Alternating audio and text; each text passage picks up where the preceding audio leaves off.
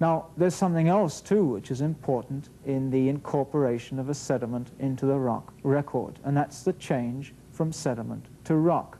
Consider, for example, this conglomerate and this breccia, both formed of fragments, and the conglomerate, the fragments are round, in the breccia, they're angular, formed of loose fragments like this.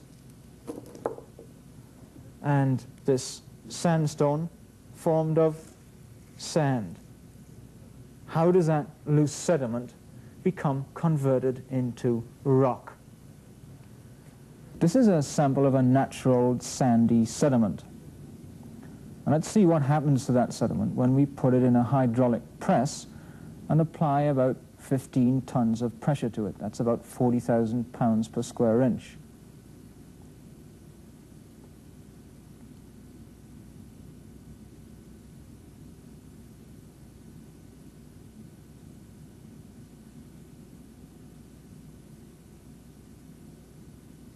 The pressure released and the sample extracted. Clearly the pressure has helped to bind together the sand of the sediment.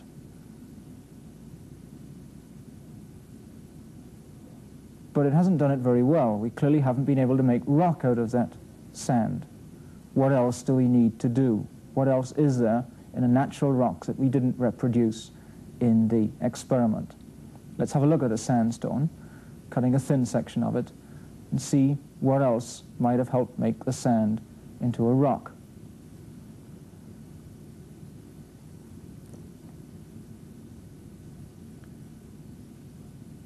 The slice of sandstone is cut and polished attached to a glass slide. And then further polishing grinds the rock down until it's about a thousandth of an inch thick. After a protective cover glass is mounted, then we can examine that thin section under the microscope.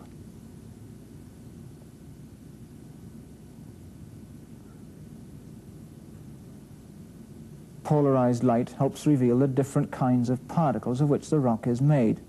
We can see that there are several different kinds of sand grains, but there's also some material between the sand grains that seems to be holding them all together. And the question, of course, is how did it get there? This irrigation pipe on a Nevada ranch, in fact, helps supply that answer. Over the years, water has deposited a white crust on the pipe, calcium carbonate, which fizzes when acid is dropped on it.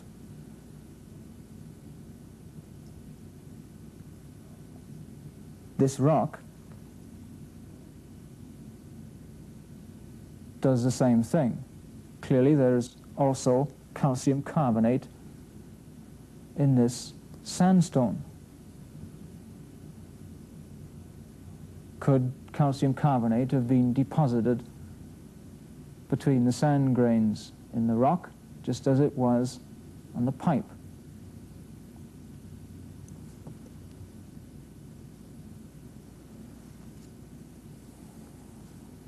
This substance, a chemical solution between the grains, demonstrates what might have happened. The solution is slowly crystallizing between the sand grains and cementing them together. This is very similar to the way in which the grains of sand in the sandstone might have been cemented together by calcium carbonate.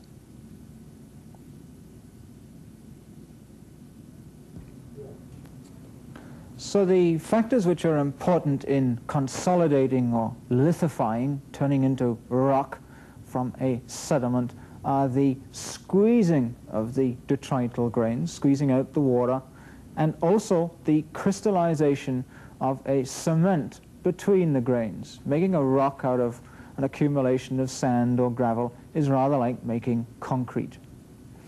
Now there's a second great group of sedimentary rocks that we haven't yet begun to look at, and they are the limestones. Limestones are prominent as white, steep cliffs in the Grand Canyon in contrast to the gentler reddish slopes of the sandstones and the shales. The uppermost limestone is Permian and the lower one in the canyon is Mississippian.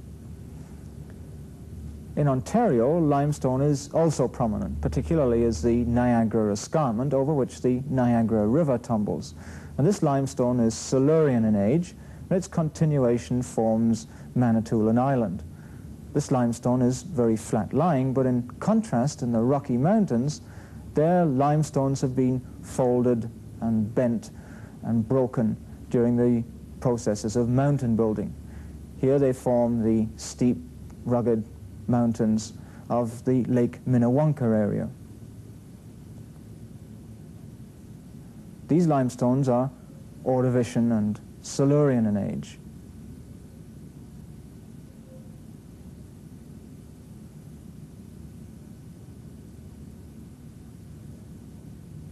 Along coasts, limestones are commonly uh, eroded into caves. The solution of the limestone Uh, and it's being carried away by the sea water, forms the, the caves. But caves can also be formed by the solution of water that fell as rainwater and traveled through cracks in the, the rock. And most caves are still forming because of this passage of groundwater through them. The most famous caves in North America are probably the Carlsbad caves in New Mexico and those in Kentucky, the Great Mammoth Cave, for example. In Europe, the best cave area is probably in Yugoslavia, where there are also thick deposits of limestone. Caves are beautiful because of the stalagmites and stalactites, and it's this attraction which draws speleologists or cavers to their explorations. These are all limestones, usually light-colored because the mineral that they're composed of is calcium carbonate. Many of them contain fossil fragments, and what they all have in common is that they're precipitates. That is to say that the material that forms the limestones was once in solution in the water in which the limestone originated. The calcium carbonate came from the solution of calcium and carbonate in rocks which were broken down on a land surface and the calcium carbonate was carried to the sea in which the limestones originated by rivers. Now the process of precipitation through which limestones originate is quite nicely demonstrated in the growth of stalagmites and stalactites with which you're probably familiar. Water containing calcium carbonate in solution drips down through cracks in the roof of a cave and then drops to the floor of the cave. And while on the floor of the cave and while hanging as drops on the roof of the cave, some of the water evaporates and limestone is deposited as stalactites and stalagmites. Most limestones, however, are not formed in that way. Stalagmites and stalactites are rather exceptional kinds of limestones.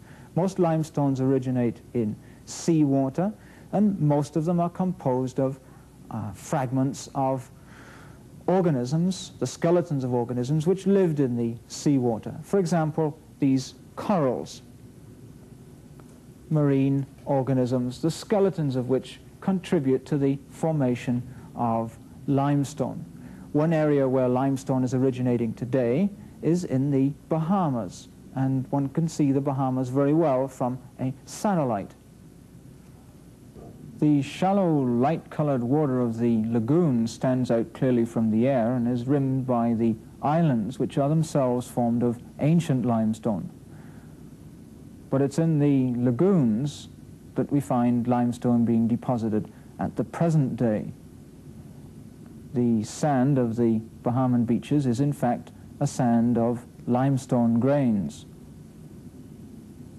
And the floor of the lagoons is formed of lime mud, both capable of turning eventually into the rock limestone. Corals are prominent where the amount of mud